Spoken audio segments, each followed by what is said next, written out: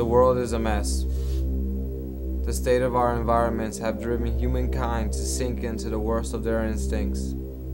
The air is polluted with toxins, the water laced with mercury and chlorine. The poor squander in filth, whereas the rich simply spend. All classes are subject to the environment. Suicides are at an all time high, and the streets are plagued with crime. Past attempts to fix these problems have failed. Our emotions are affected by our living conditions, and our living conditions are affecting our emotions.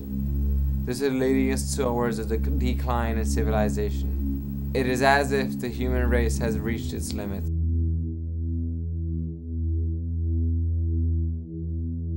Scientists at the Earth Lab have compiled enough data in the past 20 years to conclude that this much is true.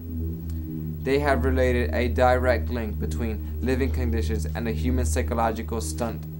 We are now obsolete, destined to ride out the rest of our emotional legacy on this planet until we will eventually die out. But there is hope.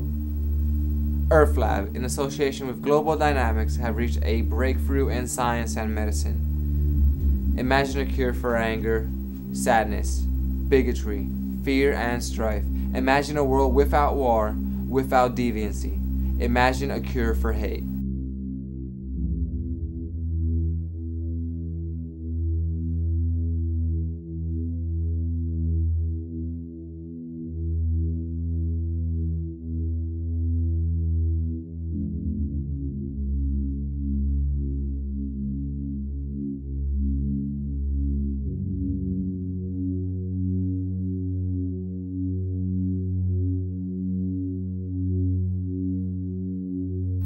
I give to you with utmost pleasure TX1, the cure to your mind.